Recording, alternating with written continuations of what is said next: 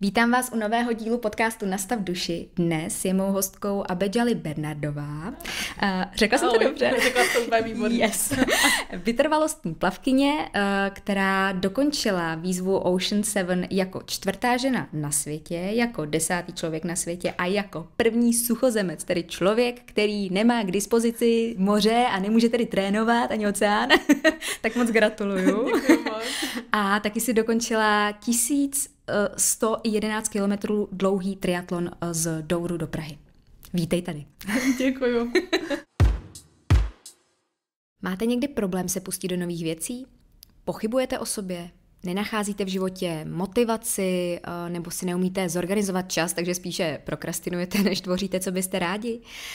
Mám pro vás dobrou zprávu, protože na tady ty otázky, pokud odpovídáte ano nebo cítíte, že to s váma rezonuje, tak eh, má odpovědi, nebo aspoň může být vaším průvodcem partner dnešního dílu podcastu a to je Brainy Akademie.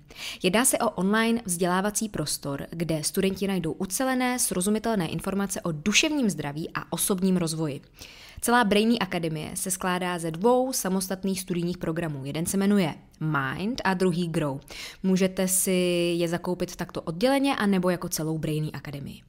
Každý z těchto programů pak obsahuje okolo 30 videolekcí na nejrůznější témata od techniky mindfulness přes emoce, deprese či úzkosti, psychosomatiku, asertivitu a konflikty, nebo třeba uh, práci se ženskou energií. Těch témat je tam opravdu hodně, takže pokud vás to zajímá, klikněte do popisku, kde najdete více informací a, a pokud cítíte, že uh, Brainy Akademie by mohla být něčím pro vás obohacujícím, že to s vámi rezonuje, mám pro vás slevu 15% po zadání kódu Nastav duši sobě, psáno bez diakritiky a dohromady.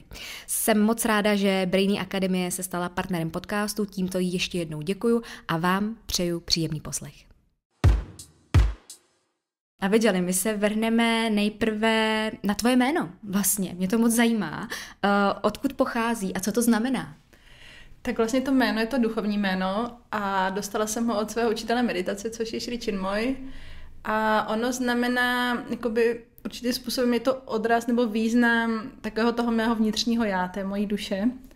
A e, ten význam, který tomu dal Sri Chinmoy, je e, pláč aspirujícího srdce, čili jakoby také pláč po poznání, po mm-hmm. poznání sebe sama, po nějakém hlubším poznání. No a já když jsem si to jméno vlastně chtěla změnit oficiálně, takže dneska ho mám v občance, tak vlastně tam musí být nějaké vyjádření toho jazykového odborníka, že to jméno existuje a ta vlastně uh, paní uh, vědkyně jazyková řekla, že to znamená jako čistá voda, jeden z těch významů. Uh-huh. A není s ní problém, když si takhle jako měníš, není to nic dlouhavého, nebo jak to vlastně funguje? Není to nic dlouhavého, jenom člověk musí jakoby nějak doložit, že to myslí vážně, že se uh-huh. zase za týden nezmění jako zpátky. Už jsem uh-huh. v tu dobu používala, vlastně máme hudební skupinu, kde to jméno používám, kurzy meditace, takže všude to používám, takže paní na úřadu naznali, že sice se nejdřív divili, že proč si tam píšu stejné příjmení, já jsem jim teda jako říkala, že si měním jméno, ale že jo, většinou tam dámy chodí si měnit příjmení a ne křesní jméno, ale pak jsme se jako domluvili. Hmm. Otázka k tomu jménu, jak dlouho trvá takovému uh, vlastně učiteli meditace, než ti to jméno vlastně dá? Jako je tam nějaký proces poznání, uh, jak dlouhý, anebo mu to prostě přistane, přijde a on už vlastně ví, tak ti to dá to jméno? Uh, jako úplně se to různí. Já jsem třeba to jméno dostala po, po devíti letech meditace, takže jako relativně mm-hmm. nějaká doba to byla. A podle mě záleží na nějakém tom našem vnitřním pokroku, který se nám asi jako těžko nějak uh, hodnotí, takže mm-hmm. Ten mistr přece jenom tam vidí trošičku lépe než my do nás. Jasně. A uh, protože já vím, že uh, Shri Chinmoy vlastně, no, nyní, on už je po, po smrti, jestli mm-hmm. se nemýlim, ale on nebyl tak často v České republice, takže předpokládám, že ty si třeba tu meditaci trénovala vlastně buď s tou skupinou, která to učení zná, a nebo si tam teda měla možnost potkat se s ním. Um, jak často jsi se s ním vlastně viděla? Poprvé jsem se s ním viděla vlastně v roce 95, kdy on přijel do České republiky na velký koncert a to bylo vlastně tak nějak v době, kdy jsem právě začínala meditovat. A potom vlastně my máme jako Šriči můj centrum, tak jako meditační centrum společné meditace dvakrát týdně, protože ono tak si pomáhá, tak jako pomáhá jít někdy na nějaký společný trénink, že jo? tak prostě mm-hmm. si člověk dodá inspiraci navzájem a tak.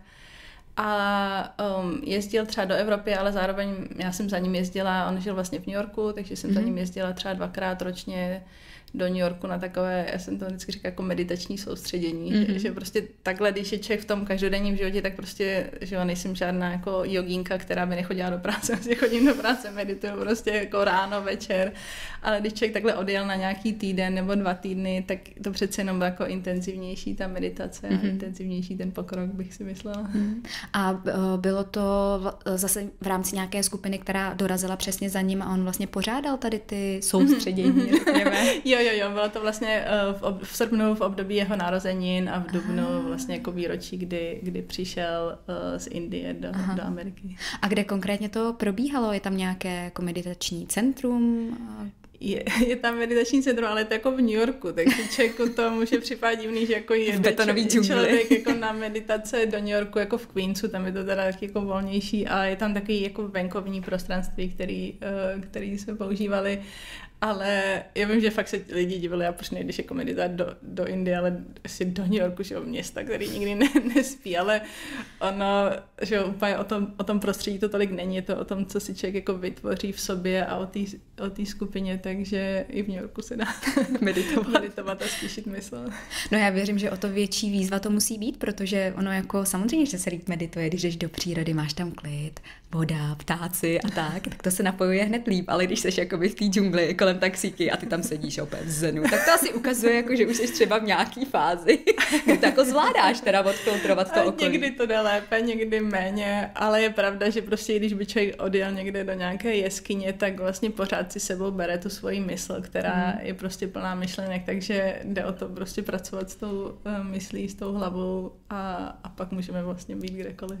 Jasně, super. A už si to zmiňovala, věnuješ se meditaci dlouho, od 18 let.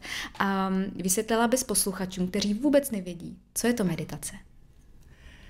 Meditace, um, já ji nejraději popisuji jako ticho a to ne, nejenom také to vnější ticho, vlastně teď jsme o tom mluvili, ale také to ticho uvnitř nás, vlastně to mhm. ticho mezi jednou myšlenkou a druhou. A vlastně, že když se ráno probudíme, tak tak to tam začne jako nám šrotovat a než večer usneme, tak nám to tam prostě pořád šrotuje. A nedávno jsem někde četla, že nějak napočítali, že člověk má prostě 6300 myšlenek za den, což prostě je jako mraky. A spoustu z nich podle mě nepotřebujeme. Takže opravdu meditace je Um, úplně jako opravdová meditace je, je ticho, kdy člověk nemá myšlenky, ale to jako fakt už taky jako stav, který si mm-hmm. těžko se nám jako dosahuje, takže je to o tom prostě vnímat ty myšlenky. Já vím, že když jsem začala meditovat, že mi přišlo strašně jako neuvěřitelný, kolik těch myšlenek mám, že jsem si to nikdy předtím neuvědomila, až když jsem vlastně jim začala věnovat pozornost. A jakmile takhle člověk tomu věnuje pozornost, tak zase už může si hlí, jako hlídat víc. Chci tady tu myšlenku, nechci tuhle tu myšlenku, kam mě vede, vede mě tam, jakoby kam chci jít. Takže to takový, jako meditace čistá je opravdu to stišení, ale na druhou stranu pro mě uh, vlastně celý ten jako život je takový jakoby uh, nějaký kurz meditace se dalo mm-hmm. říct, protože jako všechny věci, které děláme, nějak vychází z toho našeho nitra, z té naší uh, z toho ticha, které máme nebo nemáme, chováme se tak, jak vlastně to vnitřně máme zpracované. Někdy se nám něco prostě podaří, někdy se nám něco nepodaří a vždycky to je nějaká opravdu jako le- lekce, kterou si z toho můžeme vzít. Jako někdy si ji nevememe, ale, ale můžeme si ji vzít. Takže uh, když se vrátím k tvojí otázce, co to je meditace, pro mě je to opravdu to ticho, uh, dělám jako meditaci vlastně ráno, než, než vůbec vyrazím do toho zhonu um, jako života a večer před spaním se znovu snažím utišit tu hlavu, i z toho důvodu, že já právě když jsem byla uh, prostě, nevím, malá nebo i možná na střední škole, tak vím, že jsem jako nemohla usnout a strašně mm-hmm. dlouho prostě nemohl být nikde žádný zvuk a řešili jsme jako, co se děje. A pak jsem si, až když jsem šla venitovat, tak jsem si uvědomila, že vlastně to je tím, že prostě ještě pořád večer jako už ležím v posteli a že mi to tam šrotuje. Takže jakoby ta meditace ráno je nějaké takové to nastartování na ten den, takové to jako Eh, objevení té svojí jako vnitřní radosti, nebo tak, jak si vemu prostě, když jdu ven, tak si vemu peněženku, tak si člověk veme jako nějakou vnitřní peněženku, kde mám prostě klid a radost a, a používá to pak během dne. A večer je to naopak takové to jako může to začít nějakou rekapitulací, co se dělo, ale potom opravdu znovu to stišení, prostě nějaká vděčnost za to, co se událo, co se povedlo, co se nepovedlo a vlastně pak může člověk znovu jakoby uh, v klidu jako usnout a hmm. nabít sílu do dalšího dne. Hmm. A těch typů meditací je neřekla bych jenom celkem dost, ale jsou různé, liší se. A jaká je ta, které se věnuješ ty? Um, ta, jakoby, ta meditace, kterou nás učí Sri můj, je, on tomu říkal jako cesta srdce, protože on vlastně rozlišuje prostě duchovní srdce, které je vlastně tady, když si ukážeme já, mm-hmm. tak si neukažujeme já na hlavu nebo mm-hmm. na koleno, ale ukážeme si na srdce. A um, vlastně jakoby jsou způsoby, kdy člověk se může soustředit právě jakoby na tu mysl, ale Širčin můj spíš um, jakoby věnoval pozornost tomu srdci, aby jsme rozvíjeli, rozšiřovali to své srdce. A když potom rozšiřuju tady tu, tu lásku, ten mír, ten klid v tom srdci, tak jako automaticky ta naše mysl uh, se stíšuje. A mysl sama o sobě má prostě takový ty tendence jako uh, pochybovat, rozdělovat a a vytvářet v nás jako nejistotu a také různé věci. Když toto srdce jako jakmile roste, tak uh, nějakým způsobem prostě ta jeho záře tak nějak jako prostupuje celou naší bytostí a přináší jako světlo i do té mysli, která začne být pozitivnější a, a nedělá nám takové trable, takže je to cesta srdce, bych, jako když bych to měla schrnout mm-hmm. úplně jednoduše. Kromě podcastu Nastav duši je tady taky komunita Nastav duši. A protože věřím, že skrze poznání a pochopení může být svět lepším místem k životu, kde jinde začínat než u sebe. Rok 2022 věnujeme sobě samým a proto Nastav duši sobě. Kromě toho, že na platformě komunity najdete všechen obsah na jednom místě v plné verzi s bonusy a bez reklam, tak tam taky najdete obsah pro potěchu těla, duše a mysli. A co si pod tím konkrétně představit? 12 videí, která vás přivedou na jogovou podložku. Každý měsíc budete moci spolu se mnou protáhnout tělo, uklidnit mysl nebo pohladit duši. Potkáte se sami se sebou. Dále pak 12 knih, které spolu můžeme, ale nemusíme přečíst. Tituly vám mohou být jen inspirací pro budoucí studium sebe samých. Je to jen na vás. Na začátku každého měsíce knihu zveřejňuji a na konci sdílím jednu či více stěžejních myšlenek. A v neposlední řadě každý 14 dní kromě podcastů budou dále přibývat bonusy z hosty. Těším se na všechny nově příchozí, na každého, kdo se stane součástí komunity a na všechny, kteří vědí, že ta práce, ta největší práce je právě ta, kterou děláme tam uvnitř a skrze tu měníme svět kolem sebe. Ty jsi mi ještě předtím, než jsme začali, eh, říkala, že připravuješ uh, knížku. Nevím, jestli to můžu prozradit, ale právě jsem to udělala. už se to pomalu dostává. A už se to dere ven. A samozřejmě deadline neřešíme, neříkáme, nevíme, ale co mě zajímá, jestli právě to, jakým způsobem konkrétně vypadá ta meditace, budeš právě sdílet v té knížce, ta tvoje meditace. Mm-hmm.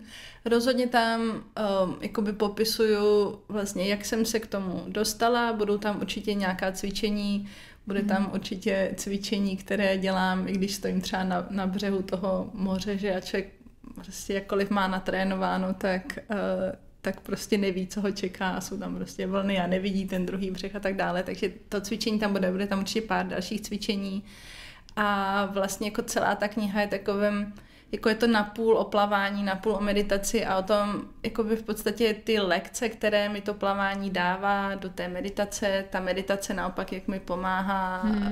v tom plavání a jakkoliv, jakoby to je plavání, to, co, to, co dělám a e, díky čemuž mě třeba lidi můžou znát, tak já ve všech těch přeplavbách jako vidím strašnou přenositelnost jako do našeho každodenního života.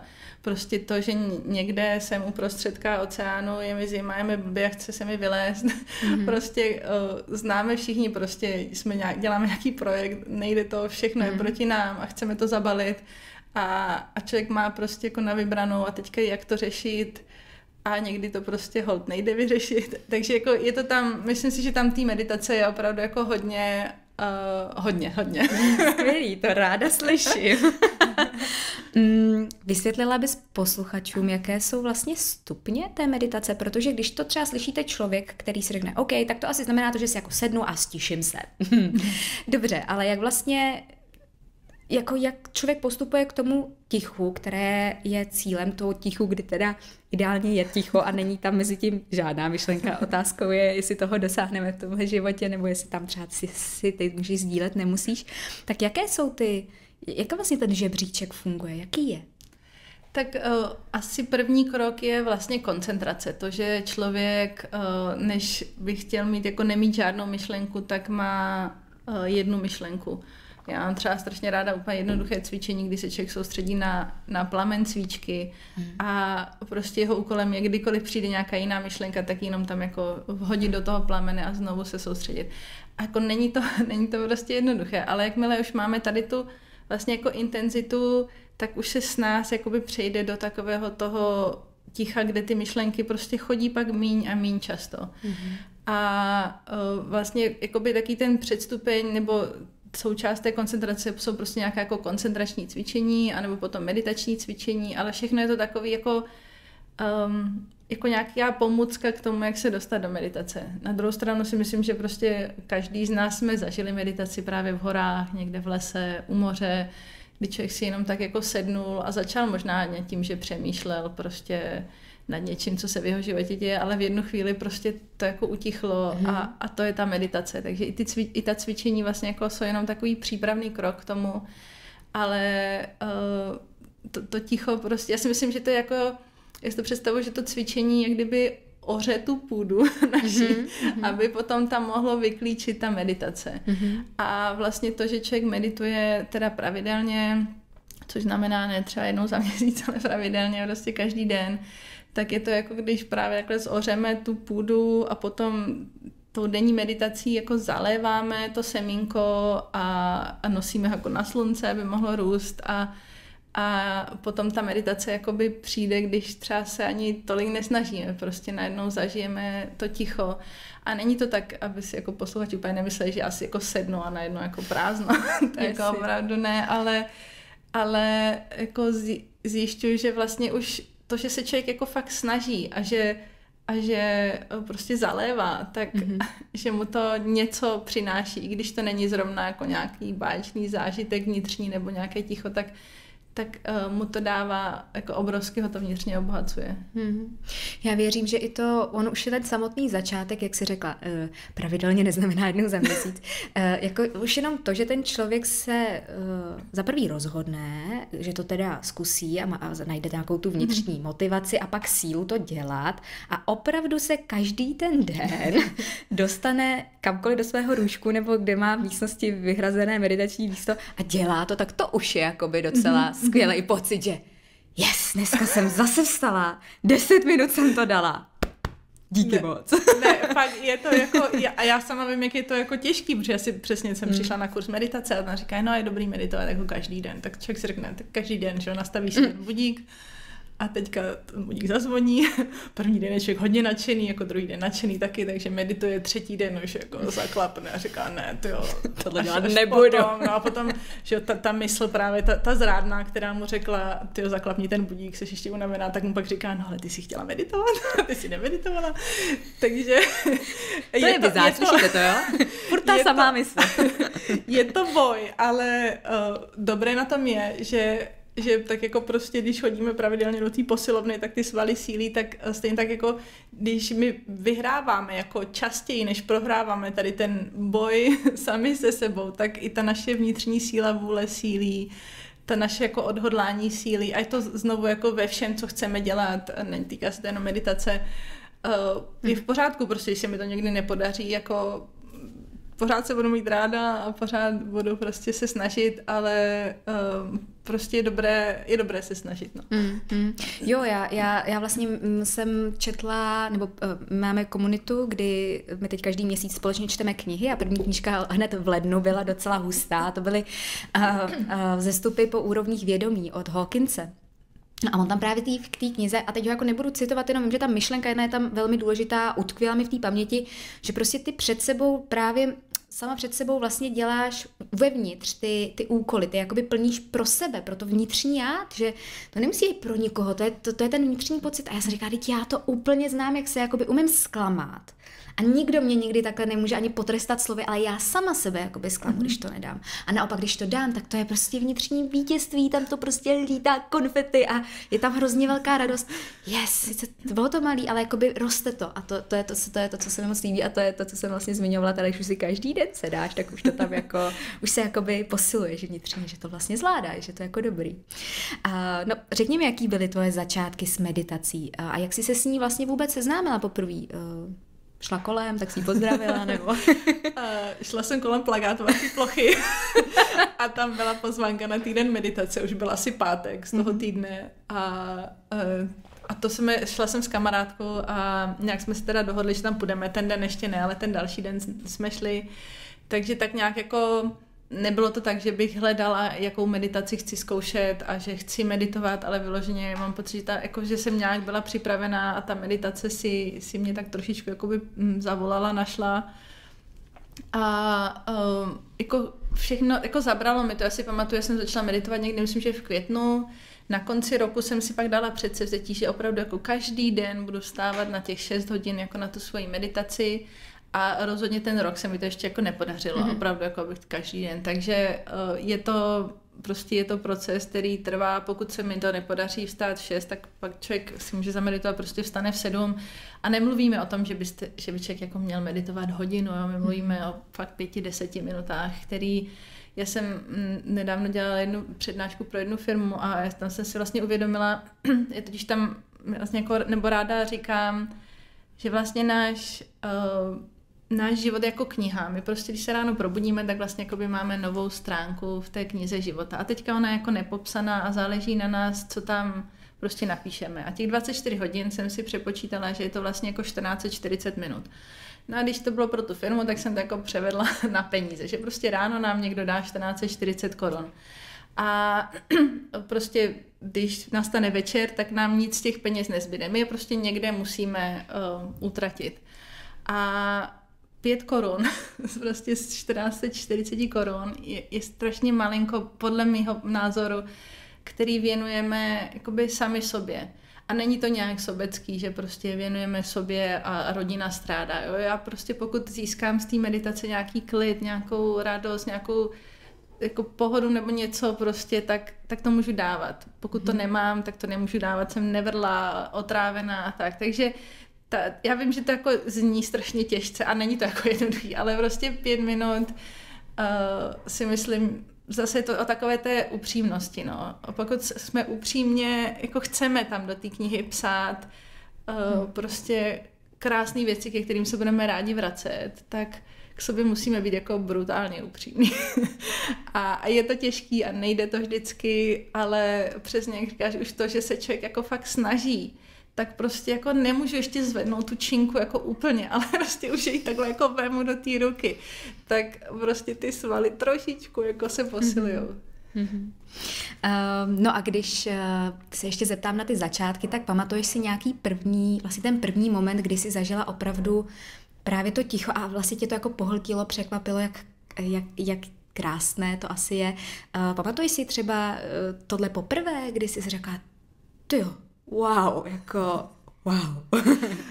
Pamatuju, ale je to takové, jako ve skutečnosti jsem teda začala meditovat opravdu jako pravidelně v těch 18, ale už v 16 jsem byla na jednom, eh, na jedné přednášce o meditaci. S chodou mm-hmm. okolností taky vedl student Čiličin moje.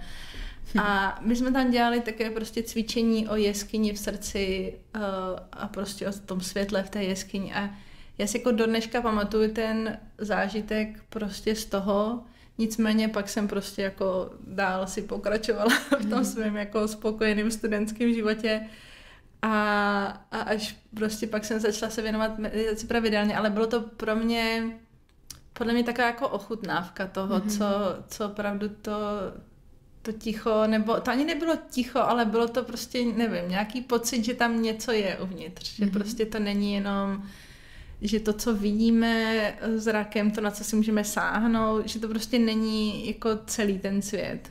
Hmm. A pak jsem teda jako se začala už věnovat pravidelně. S chodou okolností to byl student Šričin moje, to mě pobavilo. ne, jako mi přijde, že to prostě fakt mi takhle jo, přicházelo. A já vím. je to jasný. je mi to, mě je to úplně jasný, snad i posluchačům, anebo si říkají, co tam zase říkají ty člověky, vůbec jim nerozumím. um, chápu tedy správně z toho, co jsi říkala, že medituješ denně a ráno a večer, mm-hmm. je to tak? Um, Vnímáš rozdíly, že nějaký den to jde jak po másle a jindy hlava plná obav, uh, úkolů? Uh, rozhodně, když člověk řeší jako nějaké věci, tak je to těžší. Um, všeobecně ta ranní meditace je snažší, protože právě jako člověk uh, z, toho, z té noci ta mysl jako je vypnutá, takže než se nastartuje tak uh, je dobré ten čas jako využít, když to večer je to těžší, protože ačkoliv se toho člověk jako snaží to nějak jako odevzdát, to, co se ten den událo, hmm. tak prostě v té hlavě to jakoby má. A jsou prostě období, kdy to jde s nás, kdy prostě nosí člověk sedne a už jako vnímá to srdce pak jsou chvíle, kdy prostě se snaží a mačká to a, a nejde to. Takže je to asi nějaká schoda všech různých jako um, okolností, které vidíme, ale i které nevidíme. Hmm, hmm. Je to, uh, píšeš, si, píšeš si deník? Uh, píšu si ne úplně každý den, ale když se něco děje, tak si píšu. Mám vlastně na tom svém meditačním místě, tak tam vlastně mám prostě vedle sebe jako mm. notýse, kde si můžu poznačit. Hmm. Mně pak vlastně napadá, že člověk má takovou jako zpětně představu, že by si aha, to... tady to bylo blbý, tohle jsem dělala a tohle už dělám docela dlouho a ono mi to jako nefunguje, nebo ne, nefunguje v tom jako životě, no jo, v tom denním, ne, chápu, chápu. tady je ten problém, tohle mi dělá ten uh, život jako to nemám těžší. ještě zanalizovat, měla bych... Tabulky, ne, ne, ale je to jako, hmm. ono je to dobré si zapisovat, já se v tom, jako upřímně se v tom chci zlepšit, protože člověk uh, strašně moc zapomíná. Zapomíná věci, které prostě ho třeba když ho něco inspiruje, tak uh, ono to má nějaký důvod, proč to inspirovalo, prostě zahrálo to na nějakou naší strunu a potom někdy, když um, je na tom jako, je mu těžko z nějakého důvodu, tak prostě jenom si připomenou tady ten jako pocit, ten zážitek,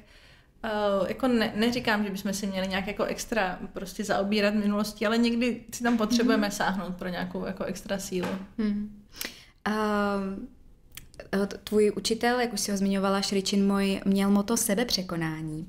A jak se překonával? Eh, přímo Šričin jak se Aha. překonával?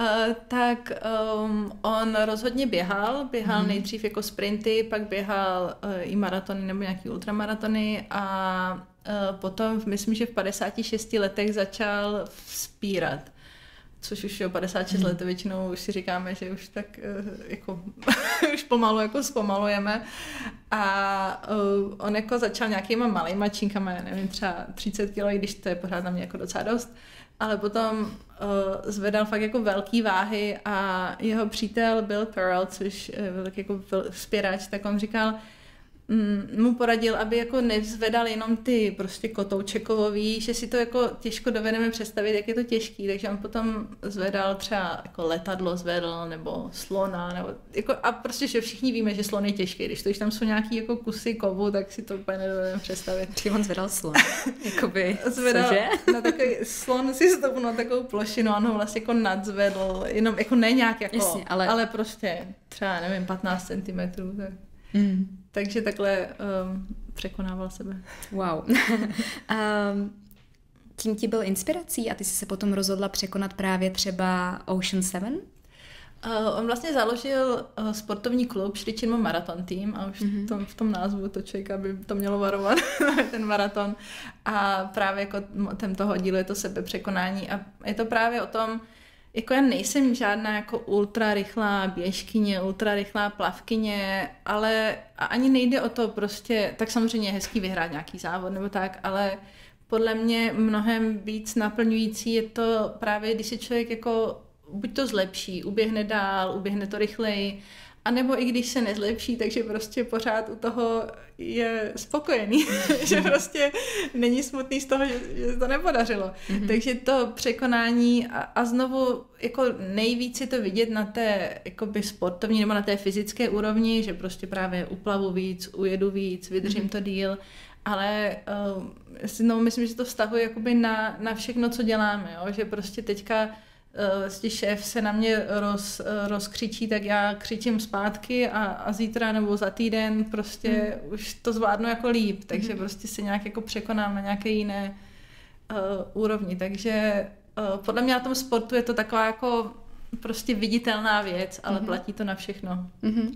A proč jsi vybrala právě těch sedm největších úžin světa? Já bych t- znovu řekla, že se to tak nějak vybralo mě, mm-hmm. protože uh, já jsem jako plavala na základní škole teda. A když jsem, uh, můj styl byl prsa, takže když jsem slyšela, že někteří členové právě našeho oddílu plavali před Lamanč, tak já jsem si říkala, to, to není pro mě, protože většinou se plave kraulem a že kdyby náhodou, tak jedině ty prsa, protože toho kraula jsem opravdu jako nevydržela. Ale potom tak nějak jako náhoda způsobila, že jsem měla pomáhat kamarádce při její přeplavbě a z té přeplavby se stala štafeta. Mm-hmm. A já jsem rozhodně hlásila, že nechci plavat solo, že jako ne, že to je studený a tak podobně. Ale prostě jako asi už to sebepřekonání tam nějak jako bylo zakódované mm-hmm. ve mně.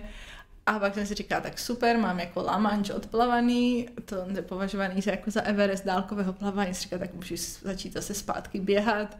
Ale prostě ty věci tak nějak jako přicházely, pak další rok se objevilo, nebo jsem, ani nevím, jak jsem se to rozvěděla, ale že, že existuje závod, který obeplavává Manhattan.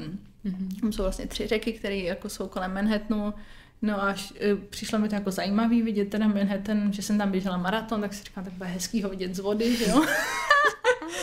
no takhle jako různě ty věci přicházely a když jsem neměla nic naplánováno, tak jsem byla pozvaná do další štafety přes La Manche a a pak jsem se dozvěděla o sedmičce, říkám, ne, jak sedmičku ne, tam jsou žraloci, že jo, já hmm. prostě čelistý film, jako člověk e, prostě vidí hodně let poté ještě jako velice zřetelně a je tam prostě ještě studenější severní kanál, takže moje mysl byla opravdu tak jako ne, ne, ne, to prostě není nic pro tebe, ale tak nějak jako, a v té knížce to opravdu je zase hodně jako dobře vysvětlený, jak, jak probíhaly ty moje procesy myšlenkový a proč jsem nakonec vlastně, uh, by se dalo říct, tak trošku šíleně řekla, že to teda zkusím, mm-hmm. ale uh, já si myslím, že víc litujeme toho, co neuděláme, než toho, co uděláme a prostě co se mohlo stát jako Uh, tak ne, že bych chtěla být slupnutá žralochem, ale, ale on tam jako nečeká na to, až tam, aby Charlie vleze, aby jí slupnul. Kde jí máme tu holku? Přesně, do kterého oceánu teďka vleze. uh, takže, uh, no, jsem se naučila neříkat ne, jako úplně mm-hmm. primárně. Mm-hmm. No počkej, počkej, neříkat ne. A není to teď tak, že říkáš na všechno jo? Mm, musí to hodně rezonovat ve mně, není to tak, mm. že bych... Ale jako, že, že, že tomu dám šanci, aby to zare, zarezonovalo, mm-hmm. než že řeknu jakoby rovnou jako ne a ani to, o tom nepřemýšlím. Jasně, jasně, tak ono asi i to, právě ta meditace je o tom, jak se sebe poznáš, že, že víš právě, co tě teda vlastně láká a jako co mm-hmm. je mhm. pro tebe ten ta zkouška, že jo, že on člověk pak už ví. Mm-hmm. Ne, já se rozhodně myslím, že mě to opravdu jako nějakým způsobem směřuje mm-hmm. a, a posílá někam a přesně jako nechci být ten, kdo jako vědomě tu, ty dveře zavře. Mm-hmm. Jo, že jako je, je pravda, každý den, že jo, všichni děláme spousty jako rozhodnutí a, a je, je těžký jako se nacítit, které, jako jestli máme tohle, tohle, tohle, mm-hmm. ale ale podle mě přesně v tom pomáhá jakoby ta meditace, že člověk jako možná to nedokáže ani nějak jako racionálně úplně mm-hmm. zdůvodnit, ale prostě uh, buď to to, co dělá, mu dává ten pocit nějaké vnitřní radosti, anebo, anebo ne. Mm-hmm. A je důležité jenom prostě si najít ten čas na to se zastavit a, a ujasnit si, co, co nám tu radost dává, co nám ji nedává, který ten směr nás jenom jakoby uh, prostě táhne ten život jako nějaký ten proud života a jestli to je ten směr, kterým prostě chceme, jestli ten proud prostě jde tam, kam chceme dojít, anebo jestli jde někam jinam. Ale myslím si, že opravdu, že v tomto jako ta meditace, nevím, jestli se dá něčím jako nahradit. Hmm. Jo, to vlastně úplně souvisí všechno s tím, co jsi už říkala, že uh, to učení, ta meditace, které, kterou, se, kterou vlastně provozuješ, ty je ta meditace toho srdce, takže prostě to srdce tě volá, říká ti a ty, ty prostě se naučíš jenom mm. naslouchat. Mm. Tak to je moc hezký. Ty si všechny ty uh, plavby zvládla na první pokus. Bylo to proto, že už si to nechtěla dělat znova? to taky. Rozumím, třeba na severním kanálu uh, se blížila, jako, nebo vypadalo to, že se blíží bouřka, už jsme byli u Skocka, že jo, to skotský počasí, takový hnedka z ničeho nic bouřka. A já jsem říkala, ne, fakt jsem se jako usilovně modlila, říkala, ne, bouřka nemůže přijít, já to nechci plavat znovu, jako mm-hmm. to mhm. byl fakt ten nejstudenější, takže tam to rozhodně bylo jako, že to nechci plavat a, mm-hmm. a nejtěžší v podstatě byl, byla Havaj, kanál Kostí na Havaj, což um, možná může vypadat podivně, že Havaj byla nejtěžší, ale ona je nejdelší, ona má 42 km a byly tam různé protiproudy a vlastně oni mi v jednu chvíli, po té, co jsem jako plavala 20 hodin, tak mi řekli, že mám hodinu na to doplavat, že pak se změní ten proud a že už vlastně nebudeme mít šanci tam doplavat. A bylo to, myslím, že asi jednu míli daleko, takže jeden a půl kilometru a já běžně plavu jako za hodinu dvě míle, ale prostě hmm. plavala jsem fakt, zase tam byl ten protiproud a teďka člověk jako ví, nebo oni mu řeknou tak sprintuj, jo, tak ale sprintujte, že jo, po těch 20 hodinách a, ale zároveň jsem viděla, že prostě, že, že těch 20 hodin už tam prostě jako je a že, že to nemůže jenom tak jako zahodit, jo. Takže jsem vydolovala ze sebe úplně poslední jako zbytky fyzických sil a těch jako vnitřních sil, podpořený právě tím, co už jsem si jako v tu chvíli prožila a říkala jsem si jako nechci to znovu. Ale ne, že mi to byl nějaký jako primární cíl, jako Jasně, dám to na první rozumím. pokus, aby... Ale už znova tohle to nemusela dělat. Nedej, pak jsem šla znovu že, do toho lamanče, takže... Ne, ne, jasně, ne, jasně. Um, možná právě teď si popsala, nebo eh, řekla si konkrétní příklady. Vysvětlila by si, jak taková plavba, přeplavba probíhá, jak to vlastně funguje, protože spousta lidí to nesleduje, neví, tak aby mm. mělo představu. Jo, jo. Takže jedna věc je, že se teda plave bez neoprénu. Člověk může mít na sobě normální prostě plavky, uh, buď to dvojdílný nebo jednodílný. Čepy. Co doporučuješ? Já doporučuji ty, ty jednodílný, tam jsou různý ty vlny, tak aby neodhalovali něco, co, co nechceme a čepičku, brejličky a špunty do uší, když je studená voda a to je všechno. Mm-hmm. Začínáte tak, že vlastně ta loď vás doveze ke břehu, jak může, vy doplavete na břeh, vyjdete z vody, když je tam pláž, když tam není pláž, tak vlastně jenom doplavete ke skále, dotknete se jí mm-hmm. A pak člověk vyplave. Takže já právě to je pro mě chvíle, když doplavu na tu pláž, že se snažím jako sklidnit a dělám nějaké i meditační cvičení, jako takovou zrychlenou verzi toho cvičení, ale Eh, protože v člověku se honí prostě všechny myšlenky. Prostě nevíte, jaké budou proudy, nevíte, jaké bude počasí, prostě nevíte spoustu věcí. Hmm. A, a honí se v hlavě spousta myšlenek, které tam člověk jako nechce mít, protože ty myšlenky většinou rozhodně nejsou jako je, hurá, jako jdeš plavat a budeš třeba plavat 15 hodin a jo, bude ti zima. Je, takže ty myšlenky tam také nejsou, jsou většinou jako odrazující, takže jako je stišit. A potom teda člověk vejde do té vody, plave, dokud teda nedoplave na ten druhý břeh, nesmí se ho nikdo dotknout, mm-hmm. on se nesmí dotknout lodi, takže mu jako jídlo, jídlo nebo pití podávají na nějaký tyčce nebo hážou. A, a, a furt šlap, takže když, když si dáváš sandwich, což není asi ta strava. Já nevím asi, co, jí, co jíš po cestě, co je tak ideální? Něco tekutýho, aby mm, to člověk mohl jako vy, vypít relativně rychle, takže kaše, polívka, mm. nějaký jako um, energetický pití. Mm. Uh, a tak to, že když svačíš, tak šlapeš vodu. Jo, šlapeš vodu. Paráda. Ale tak ona je slaná, takže ono to jde. Jasně, jasně. lépe. Dělá, um, nebo dělala jsi někdy během toho závodu to, že jsi prostě jenom lehla na záda a odpočívala? Úplně ne, protože právě to je jako ten rozdíl podle mě plavání a běhu, když si člověk zastaví jako při běhu, tak prostě je na to jednom místě, ale když při plavání zastaví, tak mm-hmm. tam jsou různý ty proudy, takže já zrovna teďka v té knížce píšu o Kukově užině a tam uh, jsme tři hodiny byli v nějakém takovém šíleném proudu, že já jsem, že jsem se teďka koukala na tři ty videa, abych si to připomněla. Mm-hmm. A tam my jsme za půl hodiny, já jsem uplavala 100 metrů za půl hodiny a potom jsem se zastavila na občerstvení a všechno, co jsem, těch 100 metrů, který jsem urazila, mě to jako, a ještě mi to táhlo zpátky k tomu Wellingtonu. Takže žádný jako poleženíčko radši ne, protože to může přidat na hodinu, dvě prostě toho plavání. No jasně, no jasně. No a teda uh, já jsem slyšela v nějakých rozhovorech, že tam vlastně vedle tebe plave třeba i někdo na kajaku, ten, ten tě může nějakým způsobem motivovat, podporovat, říkat ti nějaký... Člověk jako neslyší, za prvý má většinou ty mhm. špunty, když je ta voda studená a, a člověk fakt jako, jako rozhodně pomůže, když tam uh, někdo vedle je, na některých těch přeplavách jsou kajaky, na některých jenom ta větší loď a vždycky jsme dohodnutí s tím mým týmem, že někdo, střídají se, že vždycky někdo mě jako um, sleduje. Mm-hmm. I z, mhm. jako z nějakých bezpečnostních důvodů, ale i z toho, že to člověku jakoby pomůže. Ten člověk pak většinou právě tak jako medituje, nebo není, mm. nemá žádný jiný jako úkoly v tu chvíli.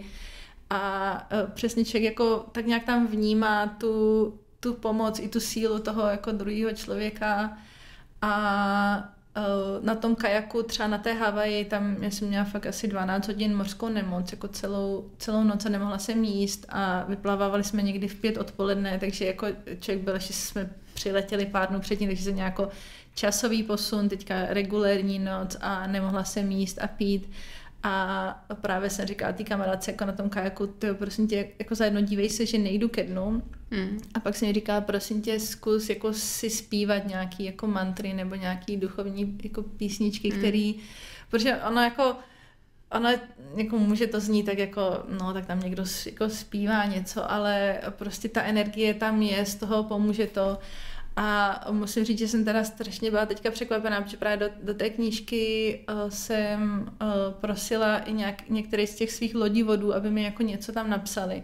A právě tady ten z té Havaje tam psal, že, že úplně, a to je prostě jako normální americký chlapík, jako, jako milý všechno, ale rozhodně ne nějak, jako, že by se věnoval meditaci, nic takového, že prostě právě v jednu chvíli, když jako mi bylo nejhůř, že, že ty holky i na té lodi začaly zpívat a že, že prostě, že to bylo, když by tam připluly nějaký mořský, uh, mořský pany a, a že ta voda se prostě jako stišila. A tohle to pro mě bylo jako úplný, jakože jo, já, já tom tak nějak jako věřím, že vše věci fungují mimo náš, jako mm-hmm. naše nějaké chápání, ale pokud to i někdo prostě zcela jako ne, nezaujatý pozorovatel jako takhle popíše, a to stejný vlastně jako lodivod na na Kukově užině. Prostě, tak jako pro mě to byla fakt jako, jako síla, že, že to že to není něco, že si vymyslím, že prostě teď se to takhle sklidnilo, protože mm-hmm. jsem jako meditovala. Mm-hmm. Protože to je pořád jakoby ten tvůj pohled. No, no, no, přesně to je tam naprosto, ještě někdo, kdo no, vidí tu... No, no, tak to bylo strašně zajímavý pro mě. Ty jsi v roce 2011 přepa, přeplavala ten kanál La Manche poprvé. Jak se na to koukáš dneska? Jaký to bylo? Já vím, že jsem si tehdy říkala, že to jsou tak jako blbý podmínky a jaký tam prostě... Už tehdy jsem se teda seznámila jako s mořskou nemocí a prostě jsem si říkala, jak to bylo jako těžký, ale jako na jednu stranu prostě tak jako bylo mi špatně, ale nějak jsem mm. jako nebylo to až tak těžký, ale měla jsem pocit, že prostě jaký vlny byly a pak jsem, když teďka člověk jako je, má tady tu zkušenost těch dalších jako moří, tak zjistil, že vlastně měl skoro jako ideální podmínky a že prostě sice jako doufám, že ještě bude někdy nějaká přeplavba, kde ta hladina bude jako taky to zrcadlo, který jenom moje tempo ro- rozráží, ale, ale uh, rozhodně prostě to, to moře se hýbe, že jo? Mm-hmm. takže doufat v nějaký Eh, krásné podmínky člověk může doufat, ale ne, nesmí se na to úplně ulpět. Mm-hmm. A uh, jako, ne, byl to pro mě hezký zážitek. Jako vnitřně jsem si to opravdu jako užila. Myslím, že, že jsem, jako hodně jsem se z toho naučila i přesně toho, že když něco nejde podle plánu, takže se člověk prostě jako nemá vzdávat, dokud nevyčerpá nějaké všechny uh, možnosti, které jsou. A, ale rozhodně jsem si nemyslela, že jako něco dalšího poplavu no a když jsi teď říkala o té klidné hladině, Uh, to je mimochodem ta klidná mysl, se mi líbí, tak to je samozřejmě hezký a takový jednodušší, když to tak máš. Uh, jaký uh, ještě jak jinak vlastně se to mo- moře nebo oceán může chovat a kdo kdy vlastně ty v té vodě zůstáváš a kdy už z ní vylézáš ven a jestli ty si vůbec vylezla, když vylézá většina třeba. Mm-hmm. Um, jako jsou i nějaká Boyfordova stupnice síly větru, uh, kdy prostě ideálně se plave, jako nula je právě taká ta pohodička. ta pohoda, prostě ta hrovná hladina. Uh, plave se třeba za stupně dva nebo tři, ale teďka my jsme měli během té přeplavby jako loni na podzim dokonce i pětku sílu větru a pak je to jako rozhodnutí, jako já vždycky se můžu rozhodnout, že chci vylézt ven, ale když by šlo jako o bezpečnost, tak je to rozhodnutí toho lodivoda. Mm-hmm. A většinou ty lodi jsou tak dobří, že i kdybych třeba já chtěla vylézt a on by ještě si myslel, že ještě jsem tomu nedala všechno, tak mě bude jako chvíli tam nechávat, než, eh, než mě vytáhne, ale je to jako opravdu jako ček je v rukou toho, toho lodivoda, takže je to jako jeho rozhodnutí.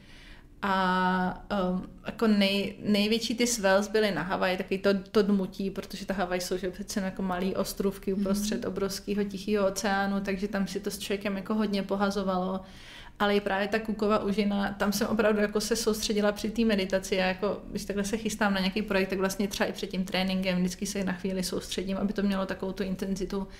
A i vlastně třeba na konci meditace se jako soustředím na tu přeplavbu. A tam jsem měla opravdu jako vymeditované, že to bude ta hladká jako hladina. Tak jsem si to prostě představovala v té svojí hlavě. A když jsem přijela na Nový Zéland, tak se mnou zároveň přijela, jako přijel cyklon Gita, takže to bylo úplně šílený. A vůbec jsme řešili, jako fakt jsme jsme dali na ten výběžek, jestli jako plavat nebo neplavat a ten uh, lodivod chudák, on, jako já jsem byla jeho první plavec, tak říkal, ne, necháme to na jindy. A říkám, ale viděla jsem, že ten tým se bude muset vracet, že bylo to mm. takový celý, říká, ne, jako to prostě, eh, jako jdeme do toho, ale ale rozhodně teďka fakt, když jsem se dívala na ty videa, jsem říkala, ty jsem úplně šílená. jsme tam jako pak jsme plavali na místě, no. Uh, druhá nejkratší přeplavba, která byla nakonec druhá nejtěžší. Mm. Takže uh, prostě záleží. Ale pak jsou samozřejmě, jako stalo se plavcům, že najednou proti ním je proud, který je třeba 5 km za hodinu a to člověk prostě, i mm. když bys měl silnou mysl jakkoliv, tak prostě mm. uh, plave zpátky. A ještě jsi mi připomněla vlastně k tomu, k těm vlnám, že ještě když moje, a to mám ráda, tady to přirovnání, mm. přirovnává meditaci, že to je jako ponoření se na dno moře. Mm. A to je přesně, že jako na povrchu té naší mysli jsou prostě tady ty vlny, ať už jakoby ty myšlenky, tak prostě nějaký strachy, nějaký naše žádlivosti, nejistoty, prostě všecko, co jako úplně nechceme mít.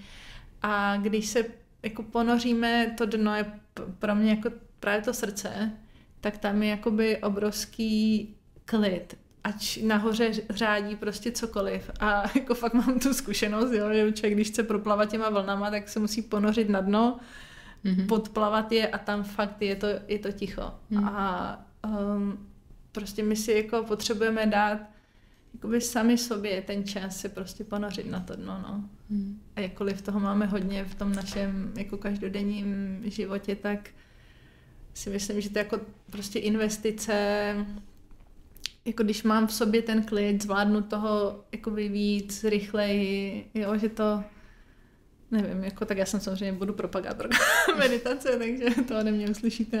jasně, jasně, tak ale jsi i jako živoucím důkazem toho, že překonáváš sebe sama právě ty jsou vidět ty věci, že jo, si člověk řekne, hm, zajímavý, víš, takže dobrý, Možná ale děláš dobrou práci.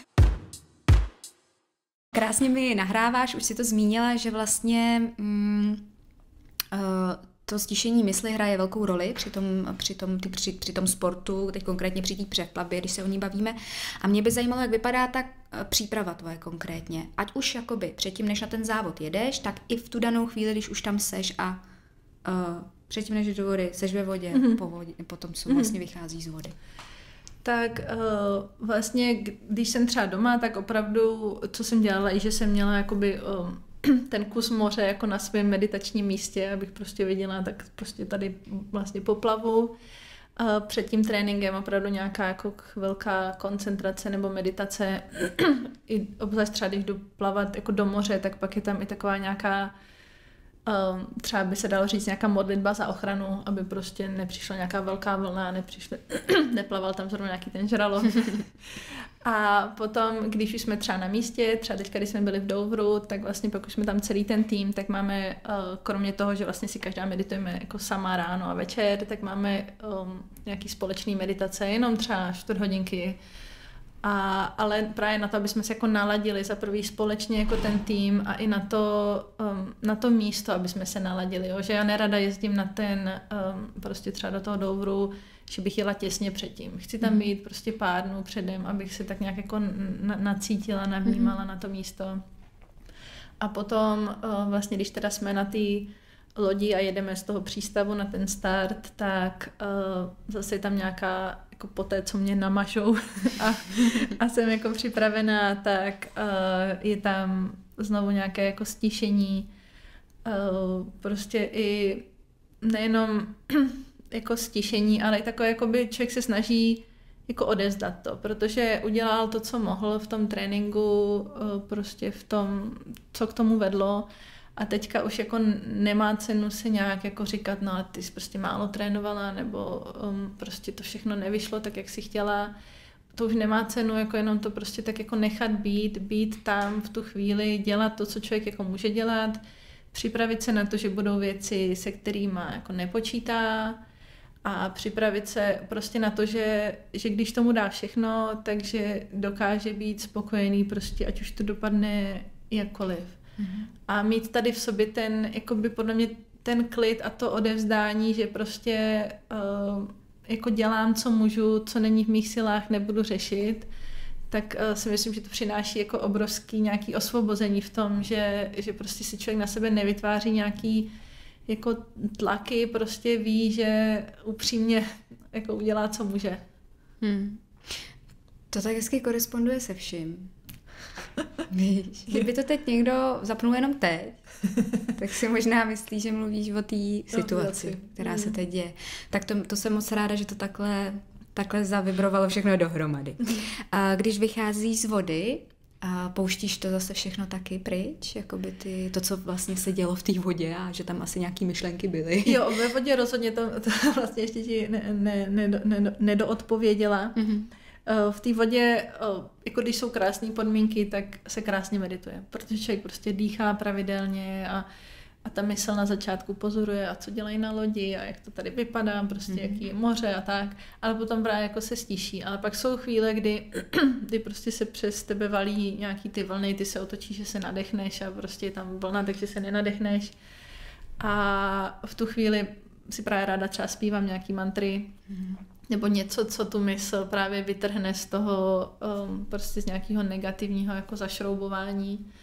A potom, když člověk jako vyjde na ten břeh, tak pro mě je to většinou většinou um, jako je taky ten pocit vděčnosti, že opravdu, že se to podařilo, to je jako jedna věc, ale i, že vlastně člověku jako byla daná ta příležitost mm. a že vůbec um, jakoby, že, že on je ten, kdo tam jako je, že tam může být, jo, že to prostě není to jako automatický a, a že tam má ten tým, protože to jsou všechno jako prostě kamarádky, který si vemou volno, aby tam prostě se mnou mohli být. Pak máme spoustu uh, prostě různých kamarádů jako z toho oddílu po světě, který prostě když šlo jako do tuhýho, tak prostě tam napsali, jako modlete se za ní, prostě ty, to moře se zvedá hmm. a, a člověk jenom cítí jako vděčnost uh, prostě za to, jak, jak to zvládala a že se to podařilo, no. Hmm.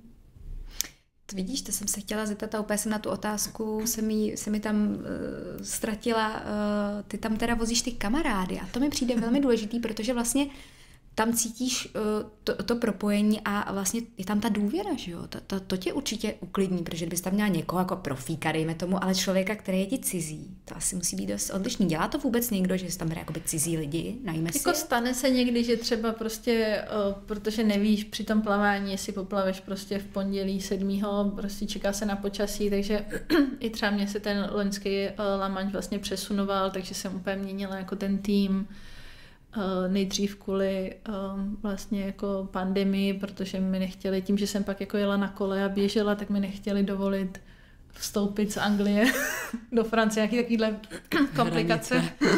A, a pak se to komplikovalo zase kvůli počasí, takže ten tým jako se mění a někdy se prostě stane, že tam člověk jako hold nemá na zbyt, tak je rád, že prostě kdokoliv jako Jasně.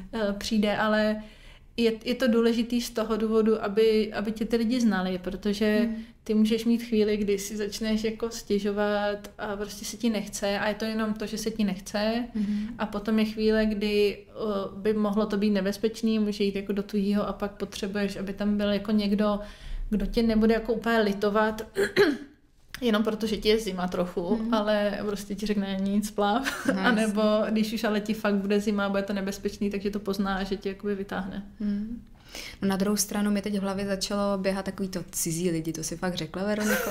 Víš, jakože um, asi když ten člověk prostě dělá tuhle práci a je tam pro člověka jako si ty, tak se v tu danou chvíli snaží dělat samozřejmě maximum, ale věřím, že ten rozdíl tam prostě je z té strany té psychiky jako tvojí, jakože mm. vlastně to, to se mění, že jo, on určitě odvede třeba dobrou práci, mm. ale ten vnitřní pocit toho, že vedle tebe je kámoška, přesně jak jste teď mm. řekla, která ví, kdy brbláš, ale která ví, aha, tak tohle je blbý, tohle mm, jako to musím řešit. Mm, tak to, to, to mi přijde zajímavý. Um, Máš pocit, že jsi v sobě uh, našla odvahu právě díky meditaci? Uh, myslím si, že určitě. A myslím si, že ta největší odvaha ani není o tom, že prostě se nakonec ponořím do té vody, která má žraloky, nebo že se ponořím do studené vody, ale že ta odvaha um, je mnohem víc o tom, jakoby být opravdu jako takým tím lodivodem toho svého života, jo? že se nenechám jenom unášet proudem prostě toho nějakého mýho rozhodnutí před 20 lety, prostě ať už to je nějaká volba prostě kariéry nebo něco, ale že prostě fakt uh, jsem zodpovědná za svůj život a beru to tak a, a prostě mám tu odvahu ho klidně prostě mm, jako kormidlovat jako proti proudu, ehm, třeba i klidně, jako nevím co, většinové společnosti, názoru mých blízkých, uh, prostě tady ta, ta odvaha. Mm-hmm. Um, my už jsme se o tom tady bavili, prostě každým tím odvážným krokem předpokládám posiluje člověk to vlastní nitro, takže to, to asi teď můžeme přeskočit, že se chtěla, to tak cítíš a už mi to potvrdila vlastně na začátku. Mm. Ale um, už jsme to taky trošku naťukli a já se o tom chci bavit, protože když teď pomeneme ten sportovní výkon, tak to překonávání se v běžném životě, jo, takový to, a já tady mám napsaný, když třeba člověk pracuje s nějakou negativní emocí, nebo mu tam právě přesně vyběhne, že chce jako mu hrozně vynadat za to, že ho nepustil na přechodu, jo, nebo takovéhle věci. A pracuješ ty vlastně denodenně s tady těmi, eh, jak už emocemi, tak nějakými třeba zarytým, zarytými vzorci, řekněme, který už tam jsou jako od dětství a jedeme si je podle těch rodičů, pracuješ s tím denodenně? Uh Rozhodně jsou věci, které se objevují jako hodně pravidelně. Um, pak se třeba snažím i jako Širčin můj má takovou jednu jako, on to nazval jako skoro okultní jako techniku, mm-hmm. že když má člověk nějaký zlozvyk, tak fakt si to jako napsat na papír mm. a prostě ho úplně zašmrkat, zač, zašmrkat, jako mm. za, začárat. A, takže to je třeba jedna věc, kterou když takhle něco se mě nechce pustit, tak to jako dělám.